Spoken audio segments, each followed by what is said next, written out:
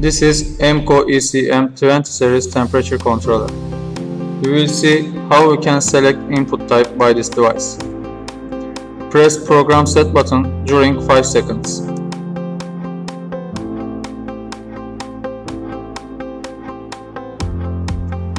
Then press enter button. Again press enter button. And then we came to the input selection parameter.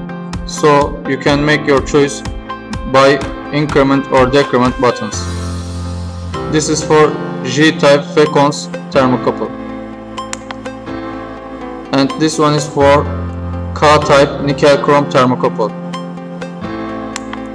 This is for R-type thermocouple. This is for S-type thermocouple. This is for T-type thermocouple. This is for PT100 sensor. And this is for again PT100 sensor but by point position.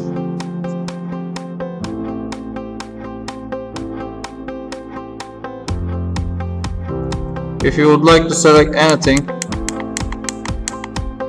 you should enter, uh, press enter button for confirmation.